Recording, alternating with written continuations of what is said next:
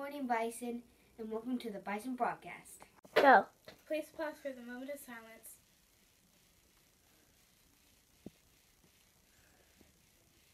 Please stand for the pledge. I pledge allegiance to the flag of the United States of America and to the republic for which it stands, one nation, under God, indivisible, for liberty and justice for all. Bye, Bison. Hey, Bennett here. Today is March 15th, 2024. Today the high is 60 and the low is 48.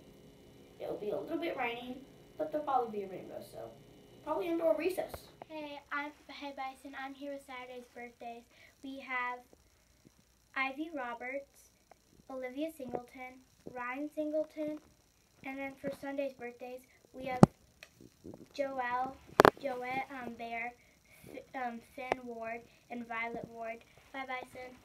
Hey Bison, today's lunch is mac and cheese, chicken drumstick, roll, mashed potatoes, and steamed broccoli.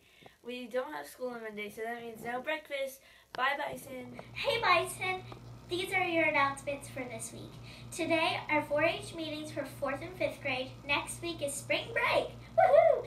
When we get back from school, it's Culture Career Week. Bye Bison! Hey Bison, we interrupt the Bison broadcast for some exciting news. Ladies and gentlemen, boys and girls! This week's sports SEC, SEC tournament men's basketball is happening this weekend. I hope at least someone in school got tickets to the game. Bye, bye, Bison! I'm here with the principal's challenge. Bye! Good morning, Bison. Ready for your principal's challenge. Next week is spring break. I know you are so excited. I hope you have good weather and get to enjoy your family. Your challenge is to do just that. Enjoy your family time, put some books on your reading log, and then when we get back, we only have nine weeks of school left. So enjoy your week, and then we will miss you so much and see you when you get back.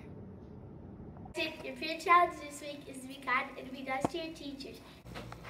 Hey Bison, did you know that great white sharks don't have any natural predators? The only threats to them are humans. Also, sharks, they don't have any bones. They're made of cartilage. Bye Bison.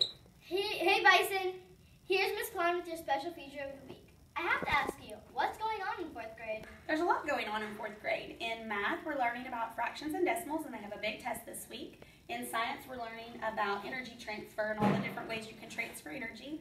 And in social studies and ELA, they're learning about the Sons of Liberty, and they're writing and saying if they want the tea thrown in the harbor or to not throw the tea in the harbor. Well, that is a lot going on. Thank you for your time, Miss. Bye Bison. Hi Bison. Today I'm recommending for you a book that's on the Book Madness bracket. What's Up, Pup? I think it's a really good book and that you should vote for it. This is what it's about.